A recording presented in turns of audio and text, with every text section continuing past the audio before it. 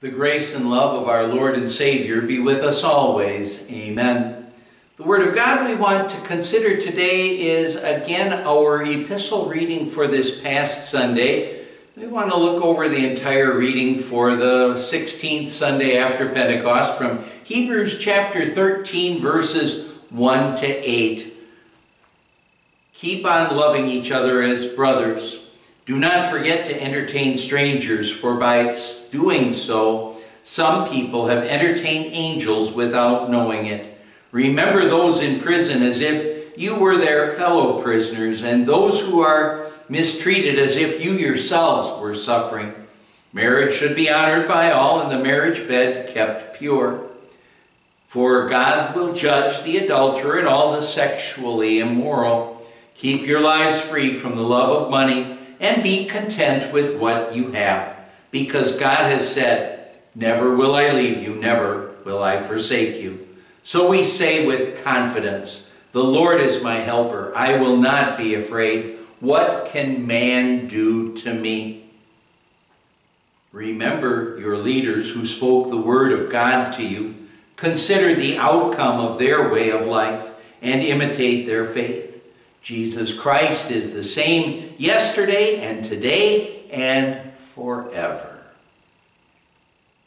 My dear friends in Christ, the unidentified author of this letter to Hebrew Christians, persecuted Hebrew Christians, wanted them and us, for that matter, to keep clinging to the gospel and trusting in Jesus as our Savior, our sole way to eternal salvation, and remember that our deeds don't earn us heaven. But he also wanted them and us to live in faith, to strive to follow God's will, to say thank you to God for doing everything for us for our eternal salvation. That's why he says here, Keep on loving each other as brothers. Or a more literal translation of that would be, as we've already noted, let brotherly love continue. As brothers and sisters in Christ, we'll want to show Christ's love, his unselfish love to one another. Love one another. And throughout our reading, he's describing that love one another. Our reading says, Do not forget to entertain strangers, for by so doing some people have entertained angels without knowing it. Well, why does he talk about strangers here? Well, think about this. If we show love to people we know that are close to us, well, we can show them love and think, well, I'm going to get love back by them. But love to strangers, that's something that we just simply show. It's more like Christ's love, where we're just loving without expecting something in return. Well, our reading says, Remember those in prison as if you were their fellow prisoners, and those who are mistreated as if you yourselves were suffering. Here, thinking about those in prison again, if you love them, they can't love you back so easily, right?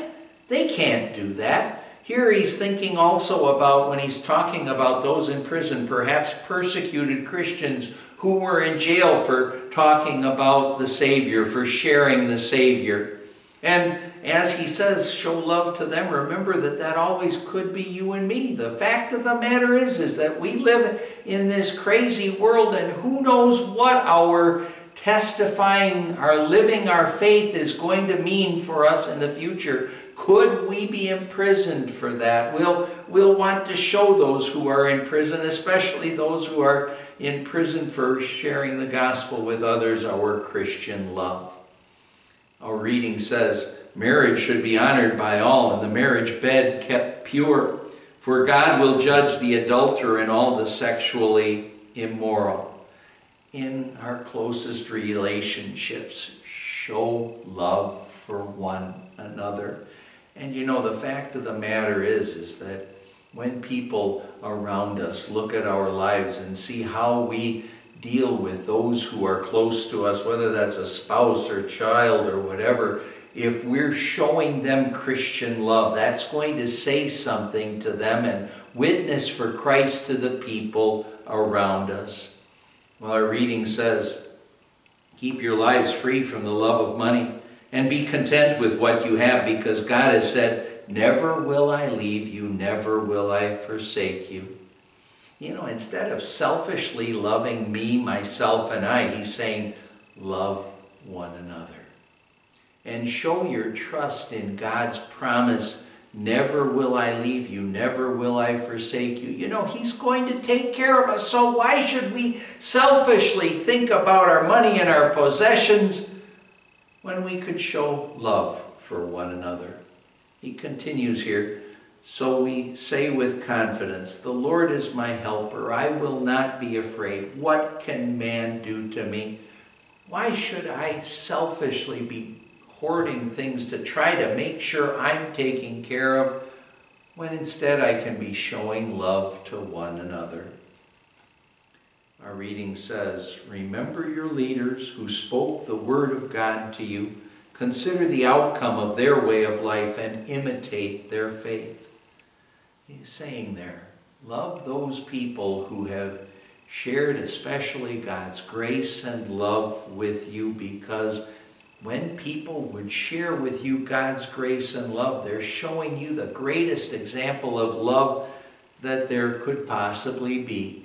They're showing love for your eternal soul, for your life after this life. That's showing the greatest love that there is. And the motivation for doing that is the closing verse.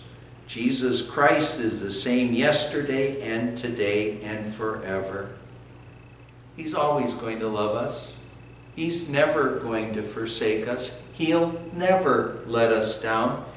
And His care for us, it means that we don't have to selfishly look out for ourselves because He's caring for us. And because of His amazing love for us, doesn't that make us want to love one another with the same love that He has shown us. Amen. Let's pray. Lord God, Heavenly Father, thank you for the love you have shown us in giving us Jesus, who lived, died, and rose from the dead for us, and for giving us the Holy Spirit so we believe in Jesus for our salvation. Help us in thankfulness for that love to always be ready to keep on loving one another with the love you've given to us. We pray this in Jesus' name. Amen. In the grace of our Lord Jesus Christ and the love of God the Father and the fellowship of the Holy Spirit be with you always. Amen.